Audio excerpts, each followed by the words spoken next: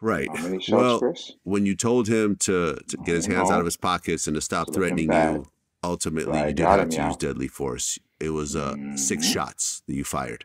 Yeah. Yeah.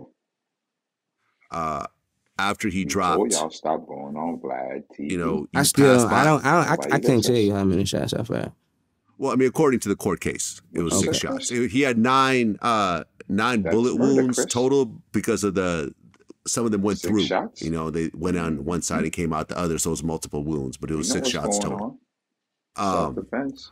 ultimately, you walked around the body, and I guess you got in your car and you left, but then you called nine one one and came back. not how it By the time the police had arrived, No, that Is so that's not how it happened. right, Chris. So what happened was I got in my car. TV. As people You started walking up to him, he was right next to my car. I moved my car from right. on the side of him to another gas pump, and I sat there